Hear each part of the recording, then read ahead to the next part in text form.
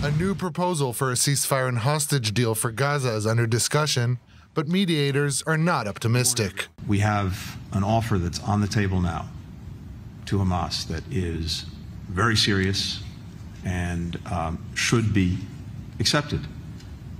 Um, Hamas could move forward with this immediately and get a ceasefire that would benefit people throughout Gaza, as well as, of course, get the hostages home.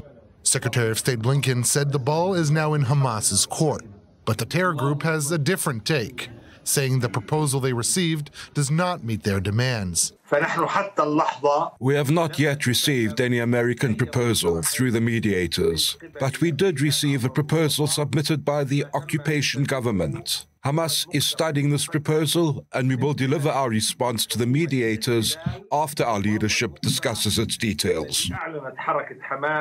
The Lebanese Al Akhbar daily newspaper reported on Wednesday that the Hamas delegation has left Cairo and is not expected to return. Following over a day of internal discussions, Hamas decided to present an updated version of its counterproposal that it presented in mid March, with four main demands.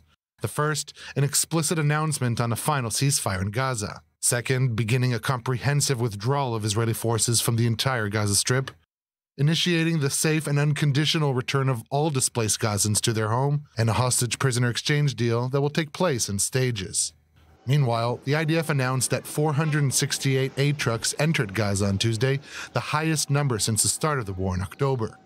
But tensions between leaders in Washington and Jerusalem are growing, amid rising criticism from the White House, particularly regarding strikes on aid workers in Gaza. All eyes are on Hamas for their response to the proposed deal.